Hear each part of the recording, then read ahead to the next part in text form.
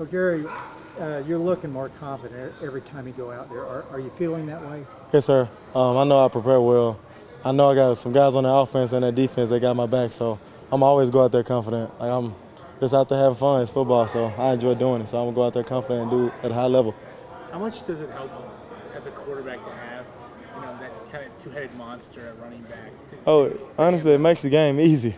like you know, when they get rolling, they're gonna give me a chance to throw the ball behind them. They'll give me a chance to get it out on the perimeter and throw the ball. So having them back there is like makes my, my game pretty easy because I know they're gonna run the ball hard. And they kind of fire me up to be honest. They have me ready to run the ball. Like I get the ball after seeing them run somebody over, I think I want to run somebody over now. So it's pretty exciting. Like that. Coach tells you to hold back on that whole thing. When Yeah, you know they tell you protect yourself sometimes. so, but I'm like, it's football. I'm having fun. Those guys got me going. So I'm just go out there and do what I can. They, uh, you've you've come out throwing though too last couple of games. Uh, do do you kind of like that confidence that the coach is having you to kind of get it going from? Yes, I love that confidence because I know they gon' they will let me do every, everything. Um, I know it's not a pass that they know it's not a pass that I can't make, so it's like they give me the opportunity to throw the ball everywhere and make all kind of throws. So I mean I appreciate them for that, and I hope they continue to up it and push me to uh, play at a high level. So I think it's all good. I enjoy it. What were the benefits of the open day for you? Could you repeat that? What were the benefits of the open day? What you mean? The bye The week. bye week. Oh, the Yeah. bye week. Yeah. Oh, um, I think it was really helpful for me. I mean, yeah, we were in the rhythm and rolling, but it gave us time to get our bodies together. Um, it gave us time to get a break and kind of um, relax and think about what we need to work on. Like that's the thing I, I took most from it. Um, being able to meet with my coach and just watch the tape and figure out things that I could improve on. I think that was kind of the uh, take from everybody. Just f- try to find ways to improve over this bye week. Like take take it more personal to get better at things that you need to get better at, not just developing as an offense, but there was some time for us to personally develop. And how do you get back into that? Just coming out here practice. I don't think we just fell out of rhythm, but I think um, we weren't just in our routine. So I say just coming back and attacking it every day, just trying to get better. And I think we were really still in routine, to be honest with you. From my vibes today, I think we came out and attacked it. There was good energy. Everybody was excited to be back together. So I think we were just going to keep going up again. What do you see from Texas? Um, Texas, um, I see a really good team. I see a team that plays hard. They put up a lot of points and a lot of yards a game. I see a defense with a good D line and some nice DBs and everything. I think um, they try to keep uh, a lot of passes from getting behind them. They try to make you take things that they're gonna give you, take the short routes. And um, I see a defense that um, just I don't know. They play hard. They play as a unit. I feel like a lot of guys on that team and played together for a while. And on that offense, they have a pretty good, a really good running back. So everybody know. Um, I think a good team. A good team. I think it's gonna be a fun atmosphere. It's gonna be a great game. Do you have to be patient maybe with a defense like that if they're going to give you the underneath Yeah, you stuff, de- just take it? you definitely got to be patient. You just got to take what they give you, whether it's a short pass, a quick run, or QB run, or and when they do give you shots, the deep balls, you want to you do not want to miss them. You want to take them because you're not gonna get them again. So you got to take those explosives when you can. Gary Grant Miller came in here in the spring.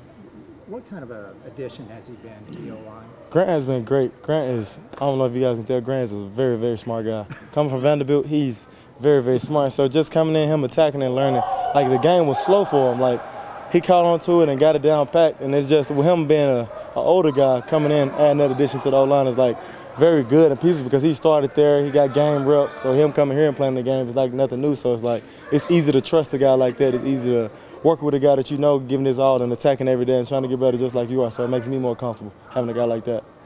Do you look at Oklahoma State as just a bad day, or what have you learned from that game? Um, Y'all played so much better these last two weeks. Um, yeah, I was just. It was a bad game, Yeah. but I look at it as a learning experience. Like, what turning that tape on, we saw a lot of things that we didn't do well. Like, we saw a lot of things that we didn't execute, um, a lot of details that we ignored. Just not a clean game. So for us, it was like, do everything we can during the week to prepare better. Like, I feel like that week wasn't a great week of preparation. So it's like coming in the following weeks just been attack every day from Monday on down throughout the week. And like Coach Grimes always say, you earn the right to play well. So it's like if you don't practice well, how can you expect to play well? So it's like just coming in every day and trying to learn and get better. Like I think that game was a great, a great learning experience for us. Um, I mean, we're gonna keep pushing. We're gonna keep better. Hopefully, I know we just keep rolling and keep winning. Gary, obviously, y'all as a team have reached kind of one milestone in terms of just getting to that bowl eligible, knowing you'll have a postseason. What motivates y'all as a team now? Um, we don't. To be honest with you, like if, in meetings and everything, everything is a one one day mindset, one game mindset type deal. It's just like the excitement to be out there and play together.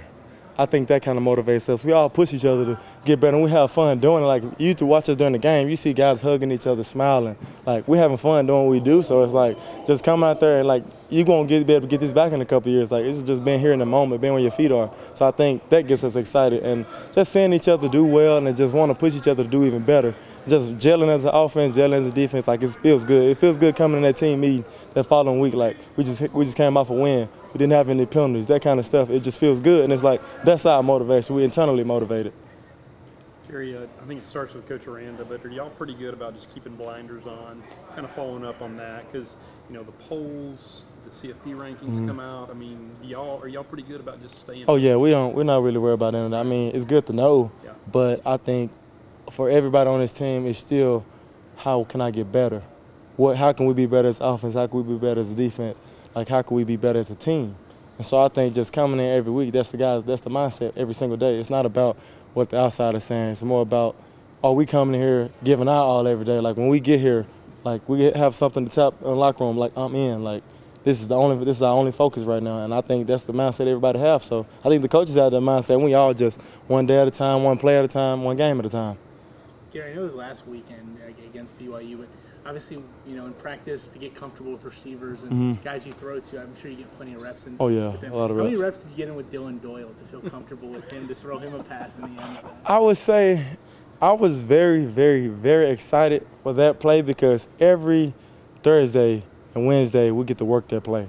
Like, and we've been working it since basically fall camp, and it was like finally get the game rep and execute it. It felt really good. It felt really relieving. Like, I don't know. I could like words can describe how excited I am. I was for him during that moment because it's like, man, we worked that play so much. Like we worked, came in, worked it every every week, and we would get it after practice because he really wanted to execute that play. And then just being able to get the fit, get the run with him, and then get the uh, pass with him, was really good because we've been working that. So you almost hard. knew where to put it to him, just like any other tight end or wide receiver at that Oh yeah, point. Dillon is an athlete. Dillon is a really good athlete. So it's like when they, when they first brought him over there to do that, I was like, wow, like he's actually very good at it, and it looks natural already. And he just continued to find ways to improve on doing it. And I knew like once they called it, I was like, yeah, we're ready to execute this. We've been practicing for it, so felt good. Who's the next linebacker that's going to score for? Man, we don't know. We will see. We shall see. We shall see. I don't know.